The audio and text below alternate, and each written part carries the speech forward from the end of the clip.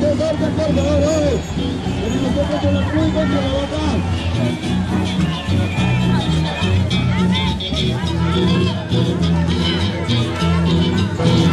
Oh, que solo tú, y vamos a crecer nuestro día. Oh, que solo tú.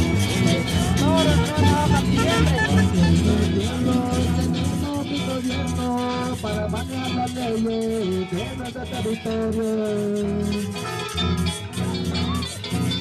Mi pueblo tenemos mi gobierno para manejar las leyes de nuestro territorio.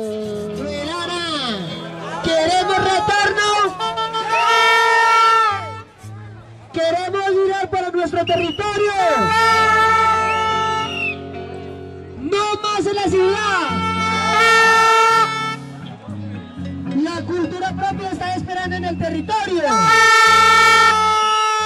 ¿Dónde están mi gente los aguaciles? Compañeros, en veras, no queremos más violencia. No queremos más guerra en nuestros territorios. Solo queremos paz en nuestro territorio. Nadie puede atropellar a nosotros. Nosotros, nosotros solo estamos reclamando nuestro derecho como en pena. Y nosotros también no estamos haciendo nada. Solo el gobierno que nos garantice retorno y reubicación si queremos.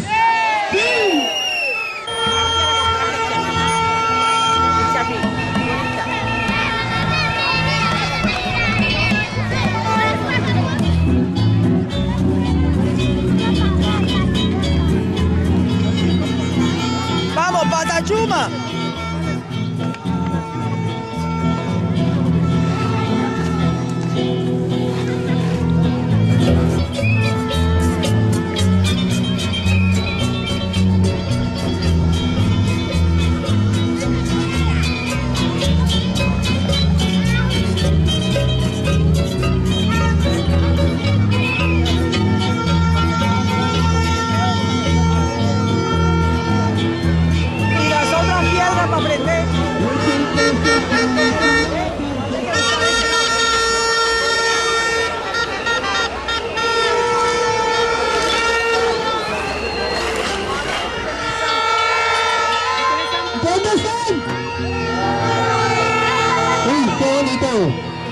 ¿Dónde está la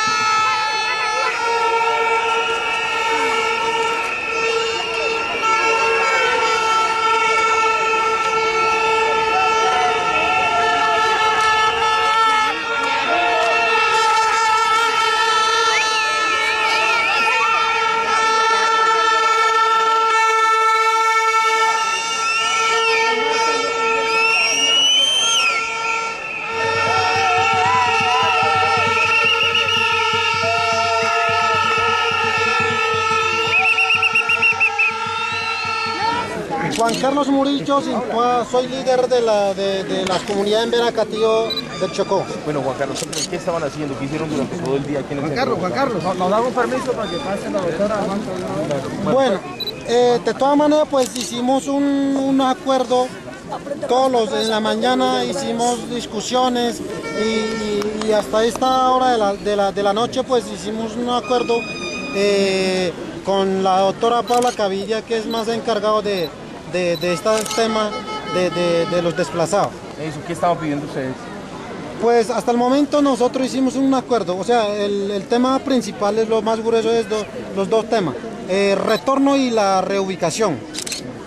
Y esos acuerdos hicimos que a partir de mañana se van a trabajar el preacuerdo para el 17 de, de- de julio, se van a firmar esos acuerdos que nos hicimos para, para que eh, gobierno eh, confirman ese acuerdo.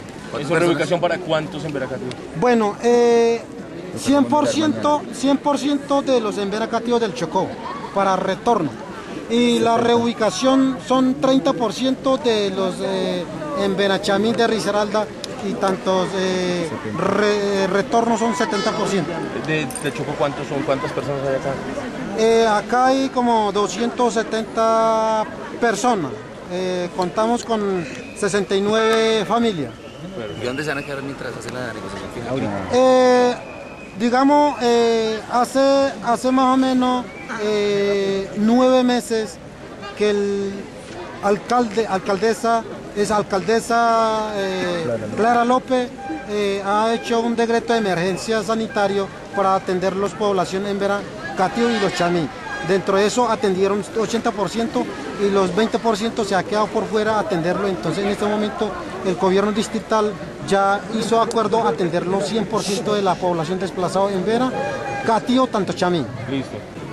Muy buenas noches a todos y todas. Buenas noches. Buenas noches.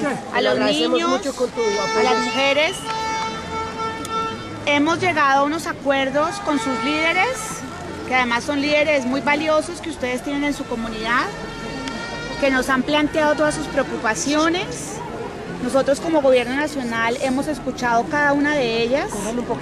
Hemos eh, tomado unas decisiones en conjunto con el gobierno distrital, con la alcaldía de Bogotá, para eh, iniciar ya un plan de trabajo, unas mesas de trabajo, donde vamos a llegar a unos acuerdos de mañana mismo hasta el día lunes, porque el día martes nos vamos a sentar con personas de alto nivel del gobierno nacional, con el gobernador del Chocó, el gobernador de Risaralda, para concretar los plazos y los tiempos que ya la comunidad y los líderes nos han, nos han comunicado que quieren que sea muy pronto el retorno y la reubicación. Es un compromiso del gobierno nacional acompañar este retorno, acompañar las reubicaciones para que se den condiciones de seguridad, de dignidad, de voluntariedad y de sostenibilidad. Mañana mismo empezamos las mesas técnicas de trabajo para tener un plan para presentar a las otras entidades del gobierno nacional que, bajo la coordinación de la Unidad para la Atención y Reparación Integral a las Víctimas, tienen que garantizar y acompañar el retorno de las comunidades que están hoy en la ciudad de Bogotá. Estamos hablando de más o menos 210 personas. Eh, se va a definir ese, ese programa de acompañamiento.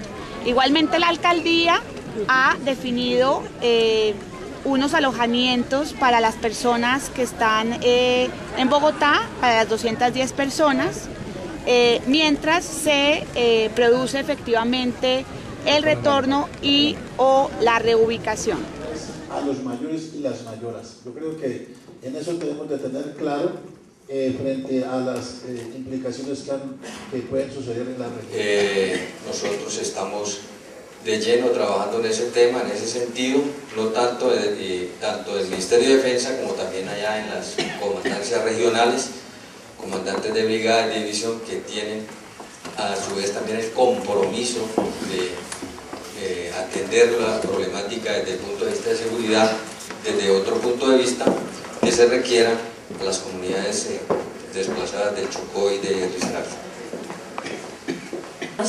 Eh, tenemos la instrucción precisa de acompañar este proceso de retorno y reubicación desde nuestra misión institucional, que básicamente es adelantar investigaciones serias para eh, evitar que situaciones como estas vuelvan a presentarse y propender pues, por la judicialización y el ajusticiamiento de los responsables. Para todos, eh, soy un médico tradicional de, de Risaralda, un canto especial en el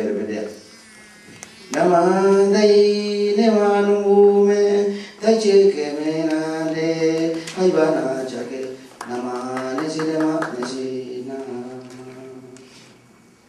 dai me ane da jage ane haiba na jage haiba na jage me na dai dua kawa ichenu ichenu ichenu dai go mi ram ka ga ka sari no, sari Los lugares eh, de retorno, las personas que se retornarían a Risaralda serían 363. No vamos a entrar a determinar todavía en qué comunidades, sino el grueso. Y eh, al Chocó, 240. Las reubicaciones en Cundinamarca serían de 71 personas. De Risaralda eh, tendríamos 156.